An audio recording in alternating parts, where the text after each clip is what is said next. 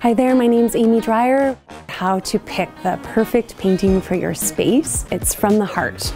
And also wanting a painting for your space, wanting to live with a painting in your home or in your work environment.